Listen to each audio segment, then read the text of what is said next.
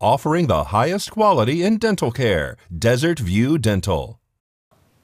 In your entertainment news this week, the lead singer of Soundgarden, Chris Cornell, has died at the age of 52. Cornell, who also sang for Audioslave, was found unresponsive by a family friend who forced his way into the MGM Grand Hotel bathroom in Detroit.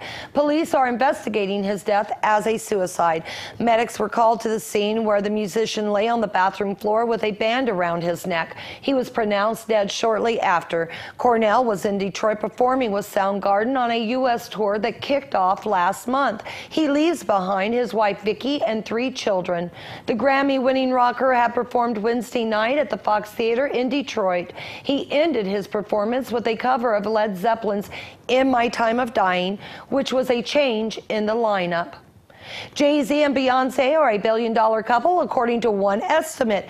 Forbes puts the combined wealth of the married superstars at $1.16 billion. The magazine estimates Jay Z's fortune at $810 million and says Beyonce's has amassed 350 million. Forbes says most of Jay Z's money is involved in Roc Nation and his other companies. Both the rapper and the singer also have a significant stake in the Tidal streaming music music service. Jay Z signed a 10 year pact with Live Nation to partner on concert events.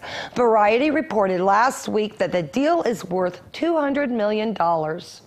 Paul McCartney has confirmed he has a role in the upcoming Pirates of the Caribbean Dead Men Tell No Tales. The 74 year old rocker surprised his fans when he posted his character poster on Twitter on Saturday, simply captioning the unexpected announcement hashtag Pirates Life. McCartney is in full hair and makeup in the poster with long bedraggled hair, a pirate hat, and his dirty hands clutching a pack of cards.